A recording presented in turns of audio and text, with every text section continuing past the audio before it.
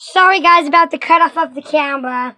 The video, I don't know, just but it was awesome. That was was so awesome. So thank you for tuning to another Gamer Gwen video. And that was really awesome. Make sure to watch, make sure to like, subscribe, and we will see you all next time. Arrivederci.